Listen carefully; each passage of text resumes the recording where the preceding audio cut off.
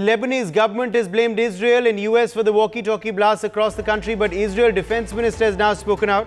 Israeli defense minister has announced that the Israel-Gaza war has been shifting northward, where the tensions with Hezbollah have escalated. Gallant has said that this shift will mark the beginning of a new phase in the war. So Israeli defense minister speaking out amidst uh, this uh, blame game erupting from Lebanon. Brian.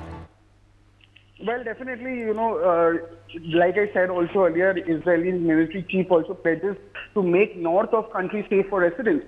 Now, yes, like you said also there, the Chief of General Staff, uh, Herzi Halevi also held a situational assessment also at the Northern Command with members of the General Staff Forum and approved also offensive and defensive plans for the northern arena, where he pledged to return home those Israelis from the north part of the country who were evacuated during due to the security concerns.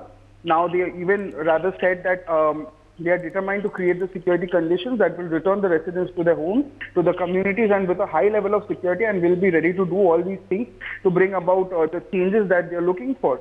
And definitely this incident has sparked outrage also and also to the fact the even even you know um, Israeli targeted rather over two days Lebanon has been in the shaking by a series of explosions that targeting Hezbollah militants also that was widely believed to be orchestrated by Israel also. Now the sophisticated attacks, detonated electronic devices also such as pagers, walkie-talkies were used by Hezbollah members have left many several people uh, injured and even dead as well.